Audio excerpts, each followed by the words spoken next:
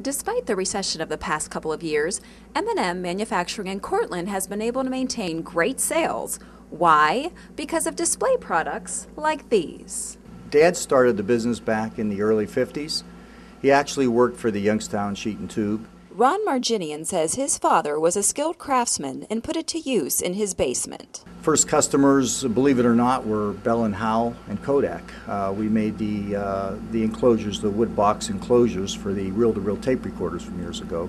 From there, we went into our main product today, which is uh, promotional uh, displays, primarily for the residential building product industry.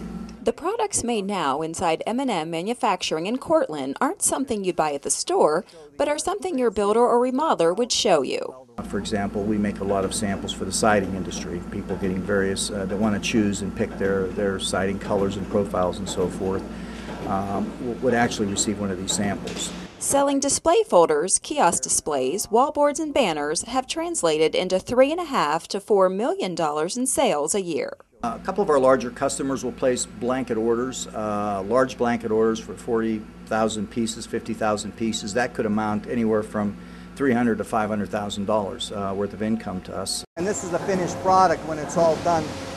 Uh, the two pieces get added here. 80% of the manufacturers they deal with are from out of state, and they're now moving into Canada.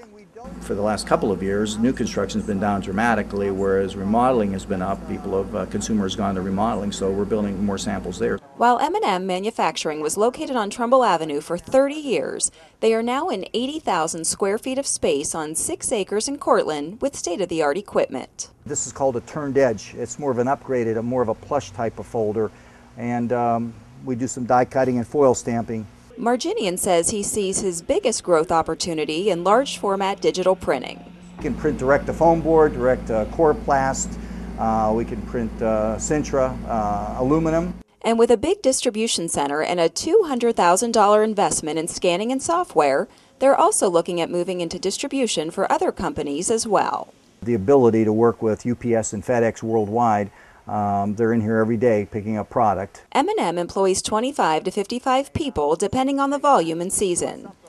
Marginian says he's now working with Home Depot on a deal that would give M&M more exposure on the retail level. What makes me really feel that this company will be around for many years to come is the fact that the consumer needs to have that touchy-feely, that hand sample. That is something the internet can't take away from us, and, and we believe that we're going to be around for a long time.